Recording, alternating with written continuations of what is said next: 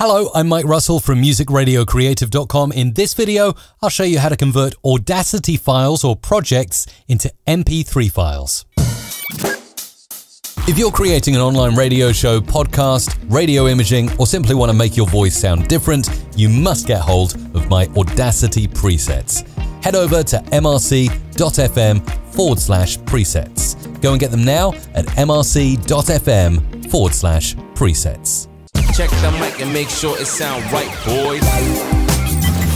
It sound right, boy. This is really simple and something you need to do a lot, particularly if you're making podcasts. So here I am in Audacity. I've got a finished podcast. I've got the host on track one up here and the guest on track two. Everything is finished to my satisfaction, and I'm ready to create a final MP3 file that I can upload to the internet as my podcast. So up here in the file menu, I'll look for export and I've got export as MP3.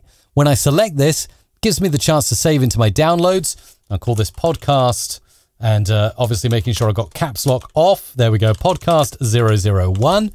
Save as type MP3 file. And down here, I've got the format options. So I can choose bitrate mode, preset, variable, average, constant.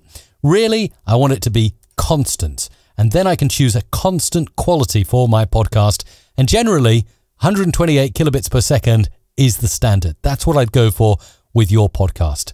Channel mode should generally be joint stereo unless your provider tells you otherwise. And of course, if you want to save bandwidth and create half the file size, go for force export to mono.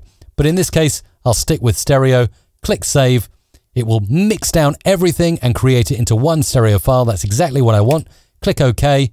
I can type in my metadata here. So if I want, I can type in my artist name and I can give it a title. And this is all the metadata that would appear, for instance, in the podcast player that I upload to. You can give album title, track number, year, anything else here. Once you're happy, click OK.